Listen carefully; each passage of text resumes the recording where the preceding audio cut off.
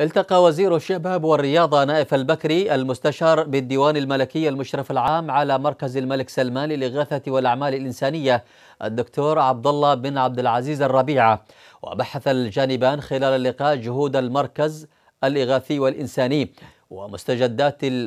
البرنامج التي ينفذها في كافة المناطق في اليمن. وفي اللقاء ثمن الوزير البكري حرص المملكة ممثلة بالمركز على أمن واستقرار وتنمية اليمن في مختلف المجالات الإنسانية والإغاثية والشبابية. بدوره استعرض الربيع نبذة عن عن برنامج تمكين الشباب اليمني الذي التي ينفذها مركز الملك سلمان للإغاثة في مختلف المدن في اليمن لمساعدتهم في تحسين دخلهم وإعالة أسرهم